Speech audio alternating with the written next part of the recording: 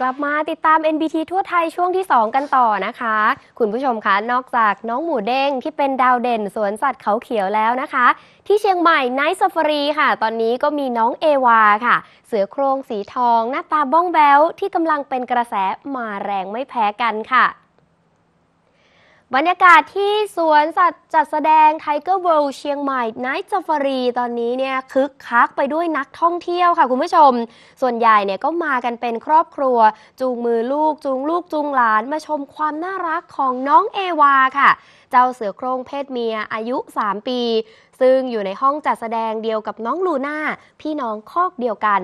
แต่จุดสังเกตนะคะจะเห็นชัดค่ะว่าน้องเอวาเนี่ยจะมีสีเข้มกว่า แล้วก็ตัวโตกว่าเล็กน้อย ซึ่งทั้งสองตัวเนี่ยก็มีความน่ารักน่าเอ็นดู หน้าตาเนี่ยบ้องแบ้วพอๆกันเลยทำให้นักท่องเที่ยวที่มาชมต่างก็พูดเป็นเสียงเดียวกันค่ะว่า น้องเอวาน่ารักน่าเอ็นดูมากๆค่ะ ไปฟังเสียงนักท่องเที่ยวกันค่ะมาจากจังหวัดแพร่ค่ะ พอดีพาตัวเล็กตัวเล็กอยากมาดูน้องเอวาค่ะ ผ่านสื่อโซโซเชียลอะค่ะ แล้วก็ของทีม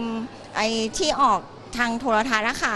น้องเห็นแล้วก็เห็นเป็นแบบแมวน่ารัก หน้าตาน้องน่ารักมากเลย น้องก็เลยอยากมาดูค่ะ ก็เลยพามาดู น้องน่ารักมากเลยค่ะ